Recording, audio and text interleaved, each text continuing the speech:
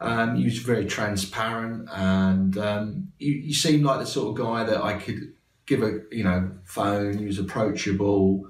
I met some of your staff; they were really helpful, and um, we sort of started off with the, the basics, and that went well. So then I sort of said, "Could you help me with the VAT?" He did that. Kind of as time's gone on, I've grown with you, and um, got built up a really good relationship.